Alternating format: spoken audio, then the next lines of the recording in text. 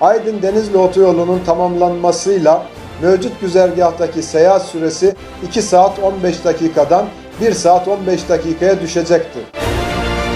93 kilometrelik kesimini sonbaharda hizmete açmış olacağız. Aydın'a kadar olan kesimini ise inşallah bu senenin sonu ve 2024 yılının hemen başlarında açmayı hedefliyoruz.